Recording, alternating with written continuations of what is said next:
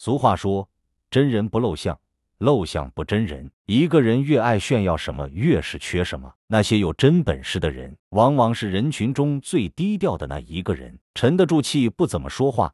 但谁都不能小看他。身为男人，就应该有男人的样子，别一点点小事就叫苦连天，别遇到挫折就抱怨一片。男人就是有担当、有作为，面对人生起伏，岿然不动，可以从容以对。当人到了一定的年纪，就慢慢懂得了人生。男人的本事越大，越沉得住气，这是人生经历过风风雨雨之后的静水深流。第一。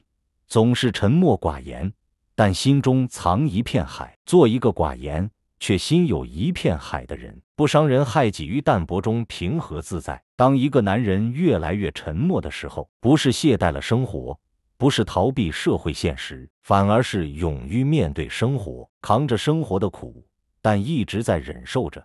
坚韧的前行，只有那些饱经沧桑的男人，才真正不喜形于色。所有的喜怒哀乐都在心中化成一抹笑容，一笑而过。只有那些浮躁的男人，才把什么事情都写在脸上，让自己变成一个苦瓜相。如果他稍微有点成就，马上就变成了一个自高自大的人，给人的感觉不可一世。男人成大器，不是自己说自己多么伟大，而是你往那里一站。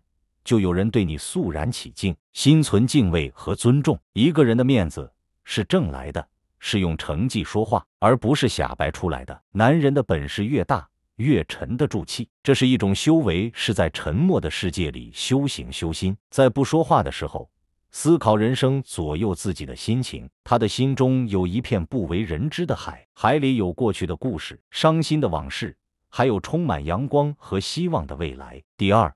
总是低头走路，却走得越来越远。一个没有出息的男人，总是光说不做，说的比唱的好听。比方说，爱一个人就用花言巧语去哄别人，但吝啬到一顿饭都舍不得请，一个红包。都不愿给，有千千万万的计划书，但从来没有付诸行动，只是告诉别人自己的未来多么灿烂。那些成大器的男人总是低头走路，就像老骥伏枥一样，不管年纪多大，依旧在坚持。也许一辈子都没有取得巨大成功，但做到了问心无愧。事实上，越走越远的男人一路上都不起眼，只有在他第一个抵达目标的时候，别人才突然发现。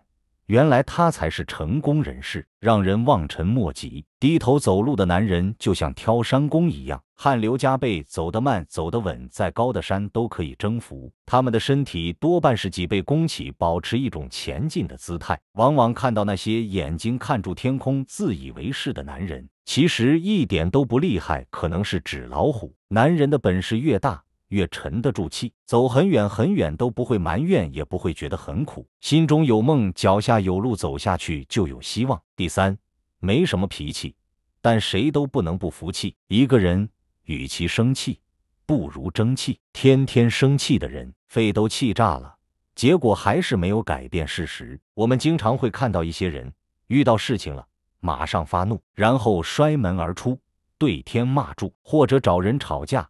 但是隔几天，还是他自己默默收拾烂摊子，继续处理后续的工作。